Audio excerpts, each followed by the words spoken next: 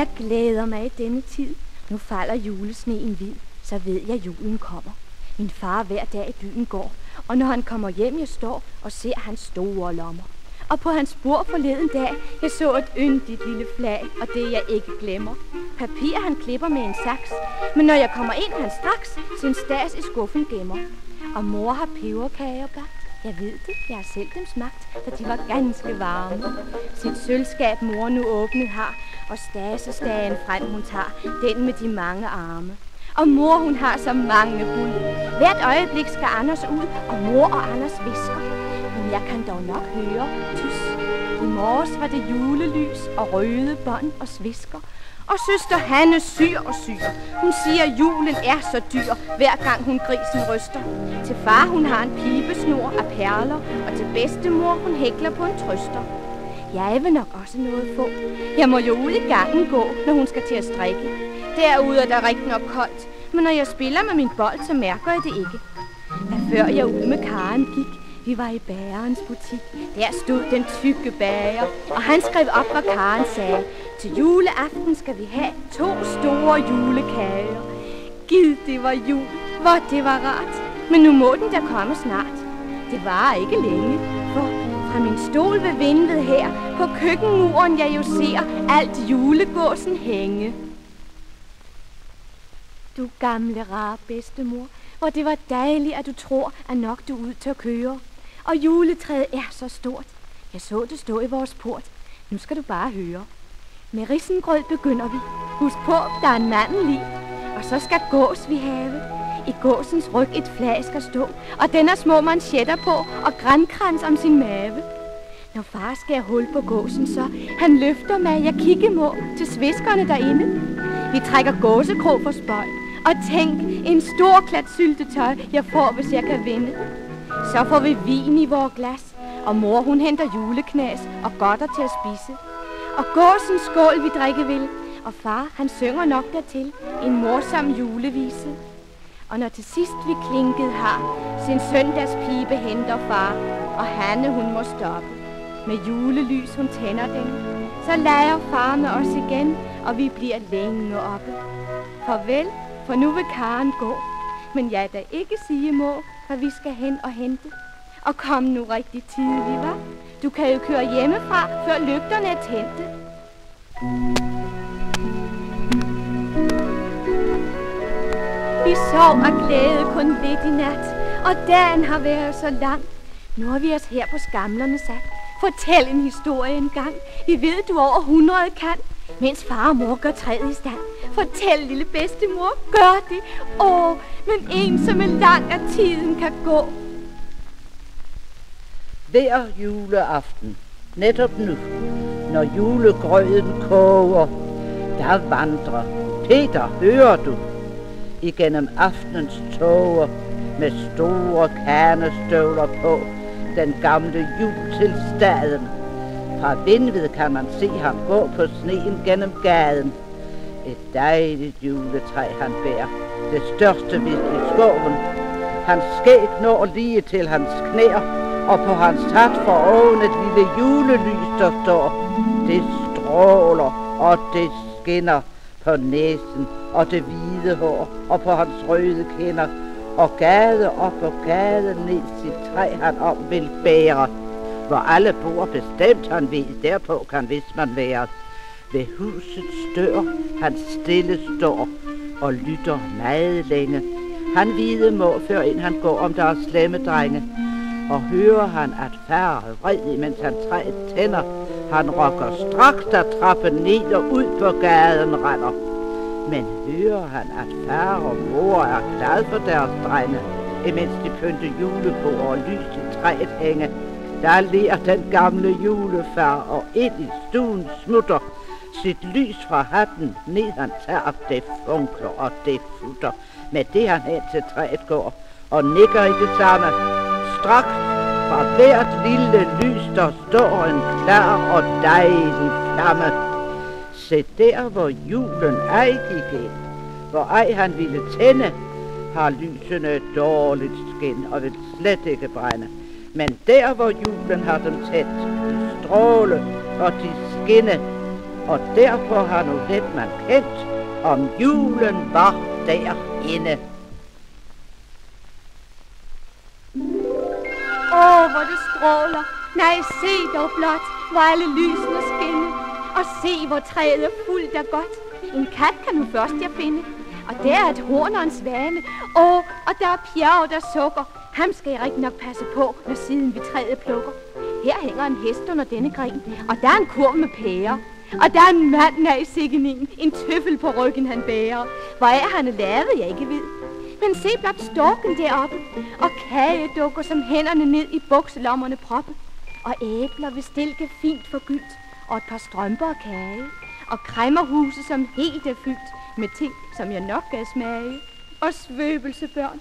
Og se blot der, to frøer af chokolade. Nej, kom, der sidder en ule her. Åh, hvor vi alle er glade. Og store finer i røde bånd, og grise og sukkerkranse. Bedstemor, kom, tag fat i min hånd. Nu skal vi om træet danse.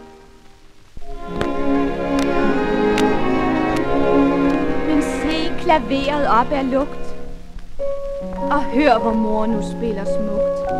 Med foldede hænder vi synge må, den julesang vi har øvet os på.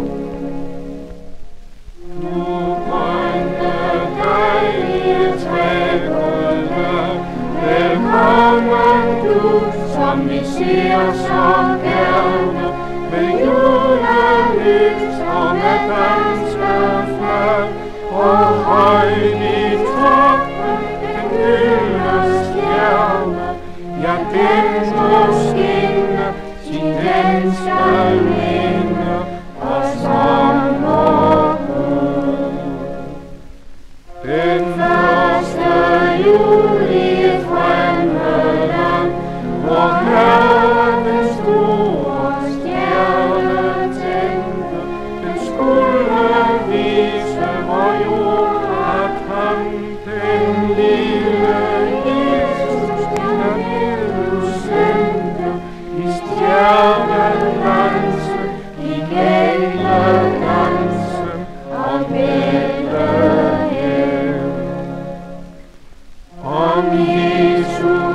Jesus fortalte mor, så mange aften vi sad herhjemme. Vi kan hans ud og hans mileord. Vi hindrer aldrig vi glemmer, glemmer, når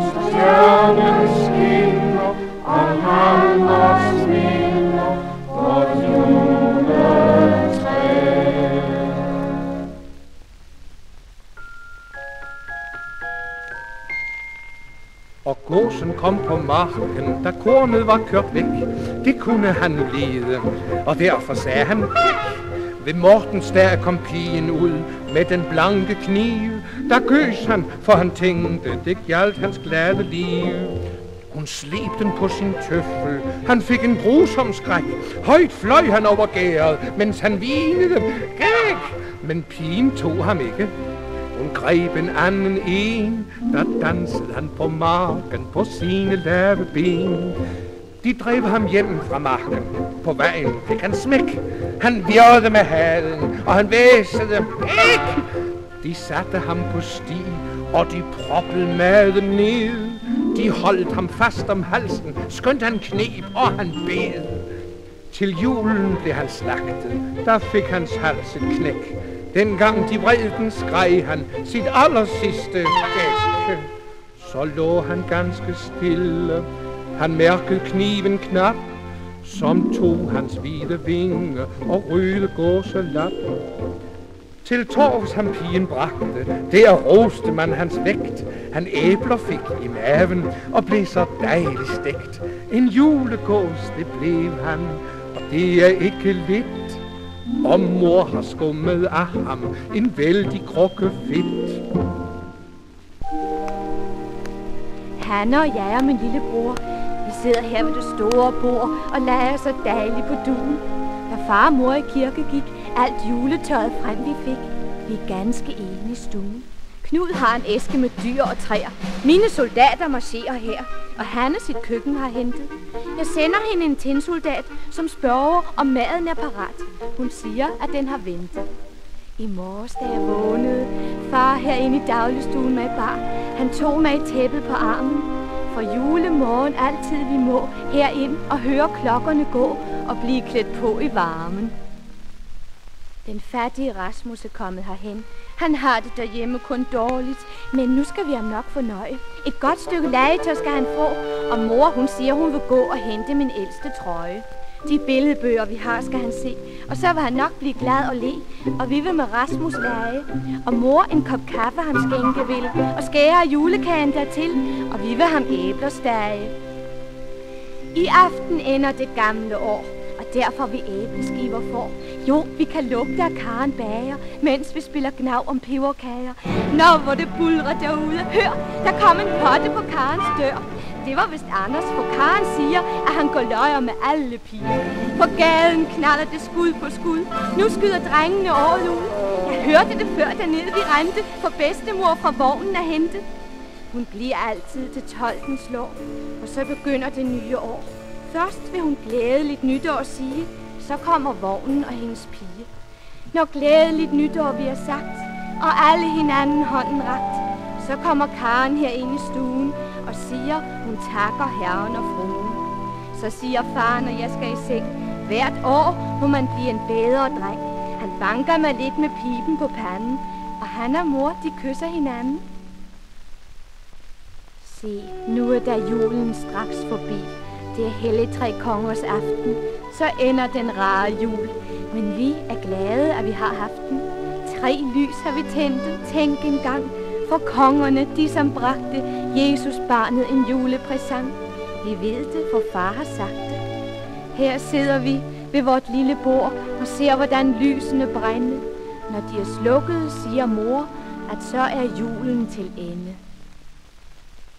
Og julen endte. Børnene fik igen deres bøger fat og gik til skolen glad og fornøjet. Der tænkte de ikke på julen. Men når klokken to de kom hjem igen, de legede med juletøj. Og deres juletræ de beholdt. Det ville stå grønt, blev det nok så koldt. Det kunne de ikke miste. På duehustaget det blev sat op, og sporvene kvidrede i dets top, og duerne sad på dets kviste. Og træet, ja, det blev et syn at se, da det stod fuldt af den hvide sne. Det var som med sølv bedækket. Men dengang forårsfuglene sang, med sine brune grene det hang, og toppen var også knækket. Og skraldemanden efter det kom. Men børnene syntes ikke derom, dengang det på vognen knejste. Det var jo rigtig nok vissent, men det var dog som om en gammel ven for sidste gang fra dem